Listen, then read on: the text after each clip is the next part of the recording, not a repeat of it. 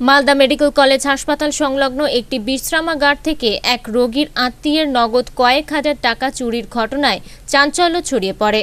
আব্দুল করিম নামে ওই যুবক হাসপাতালের পুলিশ ক্যাম্পে অভিযোগ করেছেন। ওই যুবকের অভিযোগ, বিশ্রামাগারে থাকার ব্যবস্থা আছে, অথচ নজরদারির জন্য সিসি ক্যামেরা নেই। জানা যায়, আব্দুল করিম এদিন সকালে মাকে এই হাসপাতালে মহিলা বিভাগে ভর্তি করেন। রাতে ওই বিশ্রামাগারে থাকার জন্য চল্লিশ টাকা দিয়ে টিকিট কাটেন। তার কাছে নগদ আট হাজার টাকা, মোবাইল ফোন ও বেশ কিছু কাগজপত্র ছিল। বুধবার সকালে ঘুম থেকে উঠে দেখেন তার ব্যাগটি উধাও হয়েছে। ব্যাগে থাকা সমস্ত কিছুই চুরি হয়েছে বলে ওই যুবক অভিযোগ করেন। অভিযোগের ভিত্তিতে পুলিশ তদন্ত শুরু করেছে। আমি আমার মাকে নিয়ে ব্লাডের লাগবে প্রয়োজন আছে, ডাক্তার বলেছে। তার কারণে আমি মেল ওয়ার্ডে মাকে ভর্তি করে এমার্জেন্সিতে এসেছি।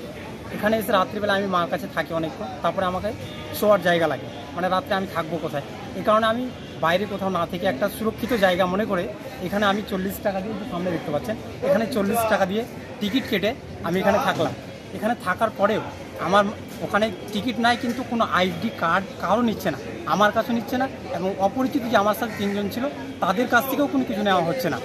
এইভাবে আমার সাথে থাকে এবং রাত্রি অনেক হয়ে যায়, রাত্রিবেলা আমি ঘুম গিয়েছি এবং আমার কাছে ছিল পার্সে মানি ব্যাগে পাঁচ হাজার টাকার থেকে বেশি।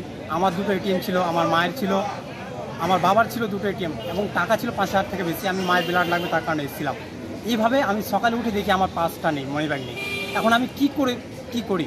আমার বক্তব্য হচ্ছে এটাই যে, যতগুলো ভাইরা আসছে এবং এখানে যাদেরকে রাখছে, এদের কাছ থেকে যারা থাকবে, ওদের কাছ থেকে অবশ্যই অবশ্যই যেন একটা কোনো আই কার্ড নেওয়া হয় এবং আইডি কার্ডে যেন সম্পূর্ণ ডিটেলস থাকে। যে কেউ যদি এরকম বদমাশি করে বা কিছু করে তাকে যেন পুলিশ বা প্রশাসন অতি সত্ত্বর তাকে গ্রেফতার করতে পারে বা ধরতে পারে। এটাই আমার মূল বক্তব্য। এখানে এর আগেও হয়েছে?